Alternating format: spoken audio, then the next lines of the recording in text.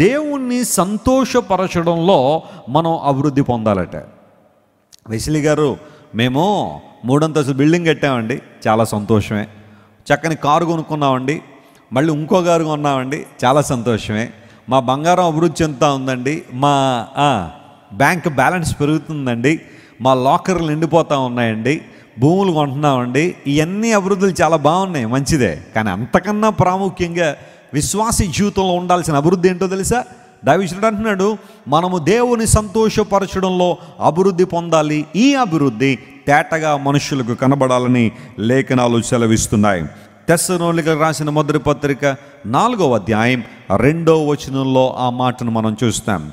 One Thessalonian chapter four and words two కాగా మీరు ఎలాగు నడుచుకొని? కాగా మీరు ఏలాగూ నడుచుకుని? దేవునిని సంతోషపరచవలెనో? దేవునిని సంతోషపరచవలెనో? మా వలన నేర్చుకొనిన ప్రకారముగా? మా వలన నేర్చుకొనిన ప్రకారముగా? మీరు నడుచుకొనుచున్నారు మీరు నడుచుకొనుచున్నారు ఈ విషయములో ఈ విషయంలో మీరు అంతకంతకు అభివృద్ధి నొందవలెనని? ఏమవ్వాలట? అంతకంతకు ఏం పొందాలి?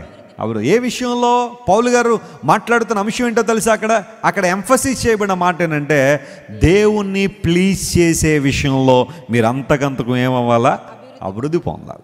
Listen to me dear friend అన్ని విషయాల్లో అభివృద్ధి పొందుతున్నాం మంచిదే కానీ దేవుని లేఖనం సెలవిస్తూ ఉంది. మీరు దేవుని సంతోషపరచడంలో మీరేమవ్వాలి? అభివృద్ధి పొందాలి. మన దేవుడు ఆయన ఎమోషన్స్ కలిగిన వాడు స్తోత్రం చెప్పండి ఒకసారి. హలలుయ ఆయన కథలని ఒక రాయి కాదు. లేకపోతే కథలని వ్యక్తి కాదు ఆయన. నువ్వు ఏడిస్తే ఆయన కూడా చలిస్తాడు. నువ్వు సంతోషిస్తే నీతో పాటు ఆనందిస్తాడు. He is the God of emotions మన దేవుడు ఆ భావోద్రేకములు కలిగిన వాడు ఆయన. వాస్తవానికి ప్రియులరా దేవుడు సంతోషపడతాడట. ఎప్పుడో తెలుసా? నీ ప్రవర్తన నీ స్వభావము నీ గుణము దేవునికి అంగీకారయోగ్యముగా ఉన్నప్పుడు దేవుడు నిన్ను బట్టి ఏం చేస్తాడు ఆయన? సంతోషిస్తాడు పరవశిస్తాడు ఆయన. నీ జీవితాన్ని బట్టి ఆనందిస్తాడు. ప్రతి ఒక్కరూ జాగ్రత్త వినండి. ఈ లోకంలో నువ్వు చేసే ప్రతి పని అది దేవుని సంతోషపెట్టే పని అన్నయ్యి ఉంటుంది లేకపోతే ఆయనకి దుఃఖాన్ని తీసుకొచ్చే పని అన్నయ్యి అయి ఉంటుంది ఒక్కసారి ఉదయం లేచిందని రాత్రి పడుకునేదాకా నువ్వు చేసే పనులన్నిటిలో ఎన్ని పనులు దేవునికి సంతోషంగా ఉన్నాయి ఎన్ని పనులు దేవుని దుఃఖపెడుతున్నావు ఒకసారి పరిశీలన చేయి. ఎవరో అక్కర్లా. నిన్ను నువ్వు పరిశీలన చేసుకో ఒకసారి ఇంట్రస్పెక్ట్ చేసుకో. ఉదయం లేచిన రాత్రి పడుకునేదాకా నువ్వు మాట్లాడే మాటల్లో ఎన్ని దేవునికి ఆనందాన్ని తీసుకొస్తున్నాయి ఎన్ని దేవునికి అవమానం తీసుకొస్తున్నాయి.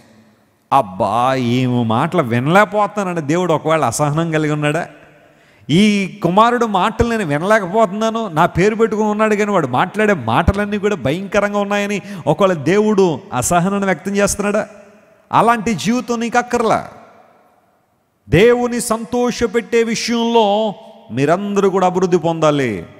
అంతకంతకు అభివృద్ధి పొందాలి? అభివృద్ధి అనేది అంతకంతకు జరుగుతుంది.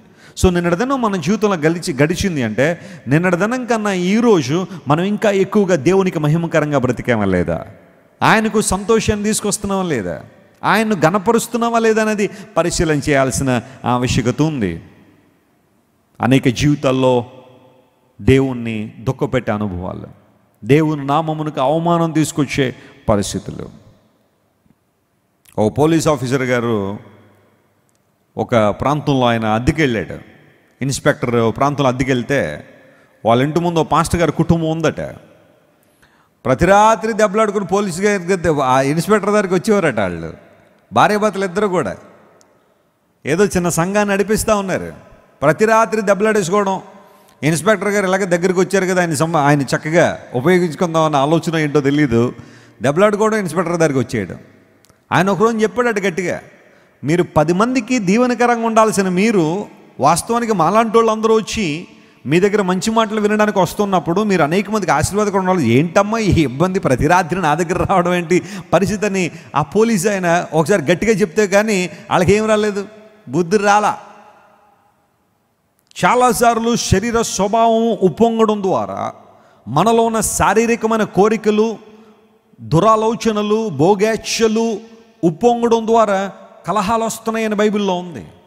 అసూయలు మత్సరము కలహములు రావడానికి కారణం ఏంటంటే నీలో శారీర స్వభావం ఎక్కువగా పాపప్ అవుతూ ఉంది పొంగుతూ ఉంది. ఆధ్యాత్మిక అనుభవాల చేత నువ్వు నియంత్రించబడటం లేదు. నీ ఆత్మ శరీరాన్ని నియంత్రించాలి కానీ శరీరము ఆత్మ నియంత్రించడానికి వీల్లేదు. ఆత్మ నియమము ద్వారా కొనసాగించబడుతున్న దేవుని ప్రజలు మనం దేవుని మన స్తోత్రం గాక వీఆర్ స్పిరిట్ ఫీల్డ్ పీపుల్ మనం లోక స్వభావంతో లోక స్వభావంతో ఏలుబడి చేయబడుతున్న ప్రజలం కాదు మనం. మనం ఆత్మ నియమములో కొనసాగుతున్న ప్రజలం గనుక ఆధ్యాత్మికమైన విషయాల్లో మనం ఏం పొందుతూ ఉండాలి? అభివృద్ధి పొందుతూ ఉండాలి. తినడం తప్పు కాదు.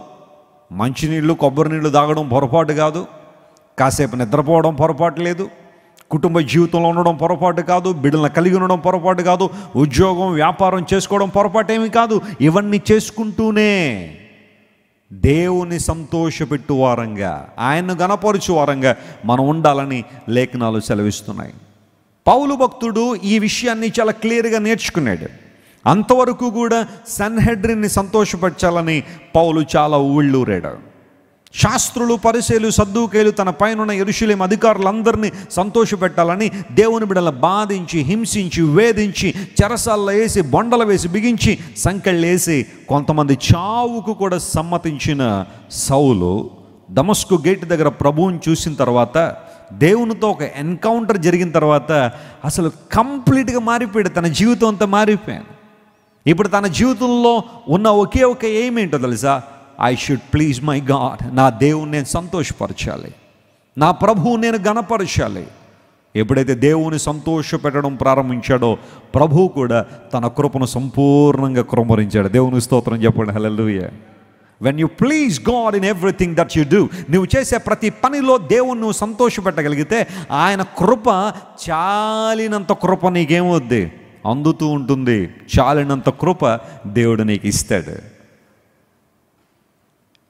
నేను మనుషులను సంతోషపెట్టుకోరు వాడినైతే దేవుని సంతోషపెట్టను అన్నాడు పౌలు మహాశయుడు. అంటే మన చుట్టూ ఉన్న వరకు మనం దీవెనకరంగా ఉండొద్దా? మన ద్వారా అనేక మందికి ఆనందం రావద్దా? సంతోషం రావద్దంటే రావాలి కానీ అది దేవుని దుఃఖపెట్టి మాత్రం అయ్యి ఉండకూడదు. దేవుణ్ణి అవమానించి నువ్వు ఇతరులను సంతోషపెట్టాల్సిన అవసరం నీకు లేదు. దేవుని ప్రక్కకు నెట్టేసి నీ ఆధ్యాత్మిక విలువలతో ఆధ్యాత్మిక జీవితంలో రాజీ పడిపోయి నువ్వు లోకాన్ని సంతోషపెడ్డా నువ్వు పిలవబడలా. దేవుని సంతోషపరచు. ప్రభు నిన్ను వాడుకుంటాడు. గొప్ప కార్యాలు నీ జీవితంలో జరుగుతాయి. You must be a God pleaser person దేవుని సంతోషపెట్టువారుగా వారుగా మీరు ఉండాలని దేవుడు కోరుతున్నాడు. దైవజనులు డాక్టర్ జాన్ వెస్లీ గారు అందిస్తున్న వర్తమానాలు చేస్తున్న ప్రార్థనలు మీకు దీవెనకరంగా ఉంటే ఆధారాలతో కూడిన దేవుని సువార్త ఇంకనూ ప్రపంచ దేశాల్లో అందించబడాలని మీరు కోరుతున్నట్లయితే ఈ పరిచర్య ద్వారా చేయబడుతున్న సాంఘిక కార్యక్రమాలు నిర్వహించబడుతున్న చిల్డ్రన్ హోమ్ను సపోర్ట్ చేయాలనుకుంటే nine triple zero triple three triple seven అనే నెంబరుకు గూగుల్ పే ఫోన్పే ద్వారా మీ కానుకలను ప్రోత్సాహాన్ని పంపించండి లేదా క్రింద ఉన్న డిస్క్రిప్షన్ బాక్స్లో ఉంచబడిన అకౌంట్ నెంబరుకు మీ కానుకలు పంపించండి. మీరు పంపే ప్రతి కానుక దేవుని పవిత్ర సేవలో వినియోగించబడుతుంది. దేవుని రాజ్య విస్తరణలో పాలిభాగస్తులవ్వండి